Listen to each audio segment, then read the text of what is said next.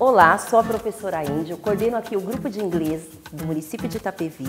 Aliás, município pioneiro que oferece o ensino de língua desde o pré-1.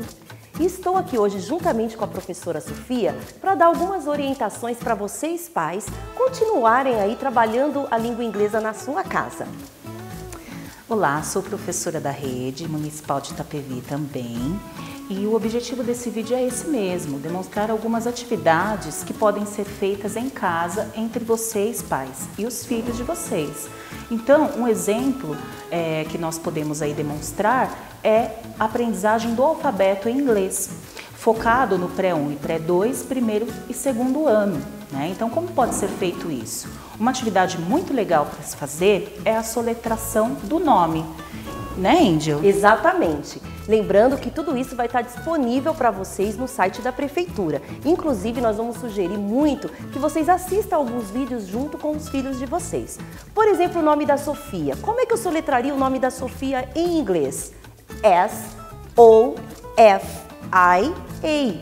Então faça essa brincadeira com os filhos de vocês em casa. Será uma, uma atividade divertida, vocês vão curtir bastante e vai aproveitar para aprender um pouquinho da nossa língua inglesa.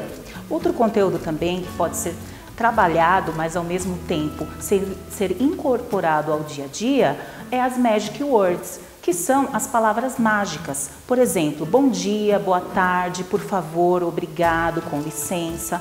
Essas palavras vocês já falam no dia a dia com seus filhos. Vocês podem usá-las em inglês também. Então, good morning, good afternoon, hi, hello. Não é isso, Andy? Exatamente. Então, incorpore isso no dia a dia de vocês.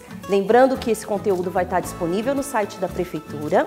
É só vocês acessarem e aproveita para aprender um pouquinho de inglês também junto com o seu filho. Vai ser divertido e vai ampliar o conhecimento de vocês.